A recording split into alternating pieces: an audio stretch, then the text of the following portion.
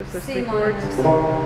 C minor, which is, and see, this is a very old piece that Clark found just one day where he was like, hey, what do you think of this one? It's great. That's great, Clark. And this could have probably been a stroke style or a finger style. Okay, so she just wanted to record this So there's one. a C minor and a G7. Those are your two chords. That's not like Brother Can You Spare a That's not Brother Can You Spare a Dime. What are the other C minors then?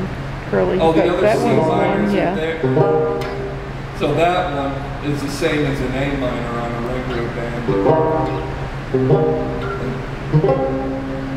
Okay, got Those are it. your three. So the thing is, I believe